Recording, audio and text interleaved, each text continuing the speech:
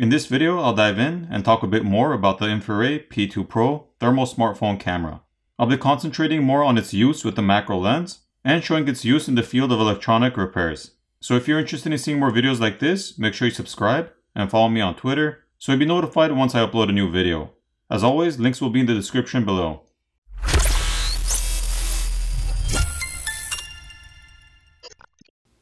As I already mentioned, I'll be focusing more on the use of the P2 Pro for electronic repairs. If you're interested in seeing the unboxing of this thermal camera, as well as some more general information, you can check out the previous video I've done on the Infiray P2 Pro, which I'll link in the description as well. So when it comes to using this thermal camera for repairing electronics like motherboards or PCB boards, the macro lens attachment is a must. This macro lens magnetically attaches over the camera and provides a more in-depth and detailed thermal picture of electronic boards and components. Whether you're trying to fix or repair a computer motherboard or a smartphone motherboard, the P2 Pro with the macro lens will help you identify any shorts or faulty points. Without the macro lens, you don't really get an in-depth picture when it comes to motherboards or PCB boards. Now if there's a short or defective component or circuit, you'll be able to clearly see the heat signature around the problem area, and focus in on the precise chip or component which is faulty. The defective component would be much hotter than the rest and would clearly stand out.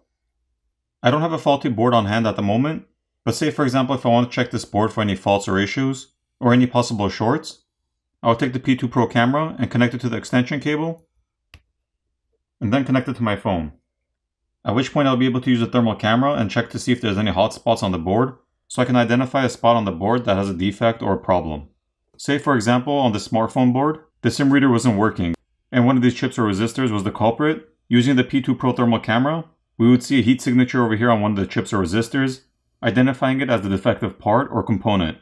We basically just hover over the area to see if there's any excessive heat on any of the chips. Now for applications like this without the macro lens, you won't get a detailed view of the chips or components. So if we take a look over here on these two chips, once I remove the macro lens, we can't see it clear anymore.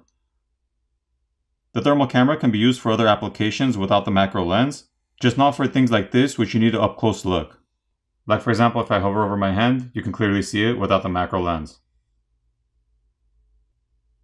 I'm personally not an electronics engineer and don't have the in-depth experience as one when it comes to testing boards with other methods, so for small repairs on boards caused by slight water damage or physical damage, I have found this thermal camera to be very helpful in pinpointing where the problem is and which part or component needs to be replaced.